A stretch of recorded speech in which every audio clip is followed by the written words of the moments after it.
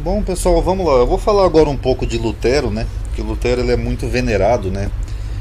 Pela maioria dos protestantes, porque Lutero, graças a Lutero que nós temos uma Bíblia, porque a malvada Igreja Católica não deixava a gente ter uma Bíblia, etc e tal. Lutero rompeu com a malvada Igreja Católica e reformou a Igreja, né? Fazem até filme, né, de Lutero, né, mostrando Lutero como um revolucionário, um homem bom, etc. Mas eles não mostram realmente quem foi Lutero, né? Um carniceiro, né, na verdade. Então esse vídeo aqui vai ser para mostrar um pouco sobre quem foi Martinho Lutero. Inclusive esse artigo não é meu. Eu só dei uma editada aqui para mostrar para vocês e a gente vai ler. Lembrando que quem quiser meus esboços, muitos eu posto no blog, tá? Podem ir lá no blog ver. Nem todos eu coloco porque às vezes eu não dou conta. Muita coisa não dá tempo de eu fazer. Mas quem quiser também pode me pedir pelo WhatsApp também, ou de alguma outra forma, de vez em quando eu não me importo de ceder os esboços. E lembrando também que como nós estamos no dia 28, é finalzinho do mês, quem puder dar uma forcinha lá no caseirão nesses últimos dias do mês, eu agradeço, porque o YouTube tá uma porcaria ultimamente. Então, é, quanto mais atividade, é melhor para poder aumentar o alcance dos vídeos, tá bom? Então vamos ler aqui juntos agora. A aversão do teólogo protestante Martinho Lutero aos judeus por não compartilharem suas ideias reformistas está bem expressa na sua obra sobre os judeus em suas mentiras. Essa obra aqui, ó dos judeus e suas mentiras, em alemão Waldenholden, Holden, Heiren, Logen. Não sei falar alemão, pessoal, mas enfim. Que é um tratado escrito em janeiro de 1543 e no qual Lutero defende a perseguição dos judeus, a destruição dos seus bens religiosos, assim como o confisco do seu dinheiro. Ainda que inicialmente Lutero tenha tido uma visão mais favorável dos judeus, eu vou explicar aqui para vocês, Diz a história que Lutero, quando ele rompeu com a igreja, né, ele tentou até puxar o saco dos judeus. Né, ele, ele escreveu um, acho que algum tipo de obra livro, sei lá, escrito Jesus era judeu.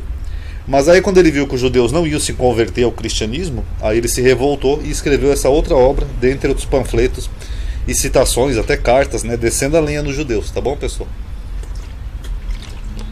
A recusa destes em converter-se ao movimento protestante que se iniciara levou Lutero a adotar diversas acusações e incentivar um antissemitismo, juntamente com outras obras e ideais. Lutero escreve que aqueles que continuam aderindo ao judaísmo devem ser considerados como sujeira. Escreveu ainda que eles são cheios de fezes do diabo, que eles chafurdam como um porco, e a sinagoga é uma prostituta incorrigível. Ele argumenta que as sinagogas e escolas judaicas deveriam ser incendiadas, literalmente, os seus livros de oração destruídos, rabinos perdidos de pronunciar sermões, casas arrasadas e propriedade de dinheiro confiscado. Isso aqui lembra muito um tipo de inquisição também, né, pessoal? É engraçado, né, que em grupos de WhatsApp todo mundo fala da Inquisição Católica, que os católicos fizeram Inquisição, mas os protestantes fizeram mais inquisições e barbaridades que os católicos. Vide até, por exemplo, lá as bruxas de Salem aqui na América, né? Ou os próprios puritanos, né, que fundaram os Estados Unidos, que vieram fugindo de perseguição religiosa protestante na Inglaterra, dentre outras, tá bom? Olha o que ele disse aqui, ó. Eles não devem ser tratados com nenhuma clemência ou bondade. Engraçado, né? Será que Jesus compactuaria com isso? Lembrando que Jesus era judeu. Não ter direito a nenhuma propriedade legal. E esses vermes venenosos devem ser dirigidos ao trabalho forçado. O que é trabalho forçado? É escravidão. Ou expulsos para sempre. Ele também parece tolerar o assassinato de judeus quando ele escreve: Temos culpa em não matá-los, em deixá-los vivos. Foi isso que Lutero escreveu. Vamos ver alguns trechos do livro. Finalmente, no meu tempo, foram expulsos da Ratisbona, Magdeburg e de muitos outros lugares. Um judeu, um coração judaico, são tão duro como a madeira, a pedra, o ferro, como o próprio diabo. Em suma, são filhos do demônio, condenados às chamas do inferno. Os judeus são pequenos demônios destinados ao inferno. Então aqui a gente vê que Lutero também na teologia medieval dele, patética, né? Ele crê em demônios, ele crê em diabo, ele acredita em todas essas bobagens, inferno, né? Tudo, enfim. Lutero era só um louco, né? Da sua época, né? Um monstro e um louco. E esse aqui de coração duro que ele fala é porque eles não aceitavam Jesus como não aceitam até hoje, né? Então, isso para Lutero era gravíssimo, né? Agora, onde é que ficam as palavras do Jesus que falou para amar os inimigos? Porque os judeus nunca mataram os alemães por, não, por, por seguirem Jesus. Já os alemães perseguiram os judeus por não aceitarem. Então, tecnicamente, quem não aceita Jesus era o próprio Lutero. Aqui, ó, queime suas sinagogas, negue a eles o que disse anteriormente, force-os a trabalhar e trate-os com toda sorte de severidade. São inúteis, devemos tratá-los como cachorro loucos, para não sermos parceiros em suas blasfêmias e vícios. Engraçado que quem tinha vício era Lutero, né, que era um beberrão. E para que não receba a ira de Deus sobre nós. E eu estou fazendo a minha parte. Inclusive, pesquisem também sobre os anabatistas, um grupo cristão que foi perseguido pelos reformadores, que vocês vão ficar surpresos também. Resumindo, caros príncipes e nobres que têm judeus em seu domínio. Então aqui ele está dirigindo essas cartas aqui, ó. Essa, esse trecho aqui é dirigido a príncipes e nobres, ali da Bavária, Alemanha, aquela região ali. Se este meu conselho não vos serve, encontrai solução melhor. Todo mundo sabe que foi encontrada uma outra solução né, na Alemanha nazista, né? A solução final para que vós e nós passamos nos ver livres dessa insuportável carga infernal, os judeus. O tratado ainda gera várias controvérsias, principalmente no que diz respeito às supostas influências que os escritos antissemitas de Lutero exerceram sobre as doutrinas racistas do regime nazista, bem como no antissemitismo alemão. Ou seja, o Hitler não criou o antissemitismo, o antissemitismo começa lá com Lutero na Alemanha. O Hitler ele só acende um fósforo num barril de gasolina que já tinha sido jogado antes. A visão acadêmica prevalece desde a Segunda Guerra Mundial é que o tratado, esse de Lutero, exerceu uma grande influência na atitude da Alemanha em direção aos seus cidadãos judeus nos séculos entre a Reforma e o Holocausto. 400 anos depois que foi escrito, os nacionais socialistas, né, os nazistas, expuseram sobre os judeus e suas mentiras durante seus comícios e reuniões de Nuremberg. Todo mundo sabe que o Hitler sempre citava esse livro aqui de Lutero. E a cidade de Nuremberg apresentou uma primeira edição a Julius Streicher, editor do jornal nazista Der Stammer, o jornal que o descreve como o tratado mais radicalmente antissemítico já publicado. Isso aqui, para quem não sabe, é uma escultura numa igreja luterana que tem na Alemanha, acho que é na Bavária até hoje. Ó onde você vê uma porca, aqui embaixo você vê esculpido alguns judeus mamando na teta dessa porca, e aqui no fundo tem um homem apontando um dedo para o fiofó da porca. E aqui está escrito a seguinte trecho em alemão: O Deus dos judeus veio daqui, do fiofó da porca. Está até hoje lá na Alemanha, gerou uma controvérsia recentemente, se tirava ou não, mas isso aqui é uma prova histórica, que o antissemitismo luterano começou aqui, ó, com Lutero. Lembrando que o Deus dos judeus é o mesmo Deus dos cristãos, né, segundo a Bíblia, então é até patético isso. O renomado historiador Michael H. Hart afirma que Lutero, embora se rebelasse contra a autoridade religiosa, ele poderia ser extremamente intolerante com quem dele discordasse em assuntos religiosos. Coisas que o filme de Lutero não mostra. Mostra ele bonzinho, fugindo da igreja, pobrezinho. Eles não mostram que ele era um intolerante religioso e detestava quem discordasse dele. Não só os judeus, Anabatista e outros grupos também passaram um aperto lá com Lutero. Possivelmente foi devido em parte à sua intolerância o fato de as guerras religiosas terem sido mais ferozes e sangrentas na Alemanha do que foram na Inglaterra. Além disso, Lutero era um feroz antissemita, tendo talvez a extraordinária virulência de seus escritos sobre os judeus preparado o caminho para o advento de Hitler na Alemanha do século XX.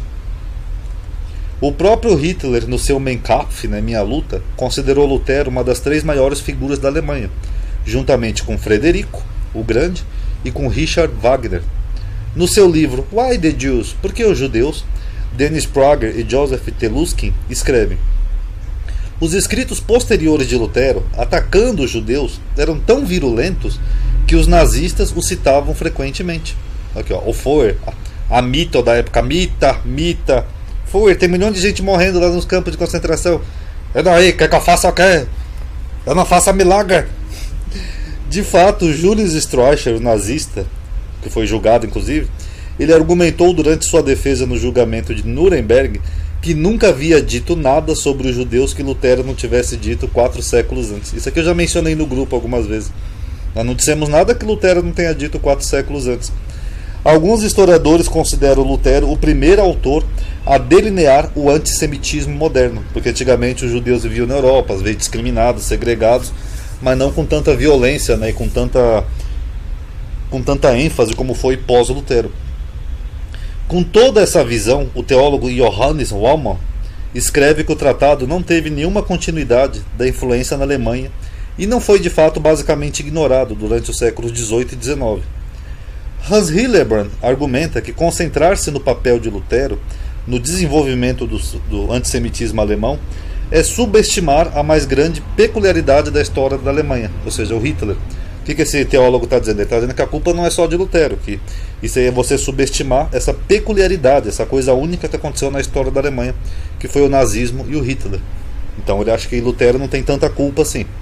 Já o historiador escocês Neil Ferguson, autor de War of the World, ou seja, a Guerra do Mundo, observa que nos anos de 1930 os judeus da Alemanha estiveram entre os mais integrados da Europa. Ou seja, o que, ele quer dizer com isso daqui? Que os judeus não tinham problemas na Alemanha antes da, do Hitler, né? Então, esse antissemitismo ele surge novamente com Hitler mesmo e o nazismo.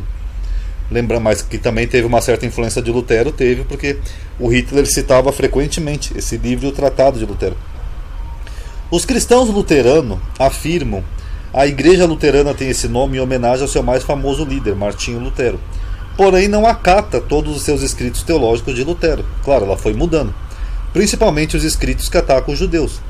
Desde os anos 80, né, alguns órgãos da Igreja Luterana formalmente denunciaram e dissociaram-se dos escritos de Lutero sobre os judeus, ou seja, eles querem se desassociar de Lutero. Em novembro de 1998, no 70, não sei como é que seria esse número, acho que é isso mesmo, 70 aniversário da Kristallnacht, que é a Noite dos Cristais lá da Alemanha, pesquisa aí que vocês vão ver que é interessante também, a Igreja Luterana da Baviera emitiu a seguinte afirmação: É imperativo para a Igreja Luterana, que sabe que é endividada ao trabalho e à tradição de Martinho Lutero, de levar a sério também as suas declarações antijudaicas reconhece a sua função teológica e reflete nas suas consequências. Temos que nos distanciarmos de cada expressão de antissemitismo na teologia luterana. Só que essa mesma igreja ainda tem até hoje essa escultura aqui. Ó. Eles querem se desassociar, por isso que gerou uma polêmica em um tempo sobre que se tiravam ou não essa escultura da igreja luterana. Então é isso aí, pessoal. Lutero escreveu sim esse livro aqui sobre os judeus e suas mentiras. Fez perseguições também a anabatistas e outros grupos depois seguido por Calvino e outros pais reformadores. E Lutero não foi um santinho como é pintado aí nos filmes de Hollywood, né? Se bem que os filmes eles enfeitam todo mundo, né? Marx, Lutero, eles só mostram as coisas boas das pessoas. Mas Lutero ele foi um carniceiro. Ele mandou queimar a sinagoga, mandou fazer os judeus fazerem trabalhos forçados, expulsar os judeus de suas terras. Tudo isso foi o que Lutero fez. E todo esse antissemitismo de Lutero acabou de certa forma influenciando essa outra peculiaridade, né, que teve na Alemanha, que foi o nazismo. Tanto que o Hitler, lá em, nas cervejarias da Bavária, onde ele ia, ele sempre citava Lutero e esse tratado dele. Ainda que antes de Hitler, os judeus estavam numa relativa calma na Alemanha, né? não tinha nenhuma perseguição, não tinha nada. Mas negar que Lutero influenciou Hitler e os nazistas, ou que os nazistas utilizaram Lutero como base, também é inegável. Tá bom, pessoal? Paz a todos.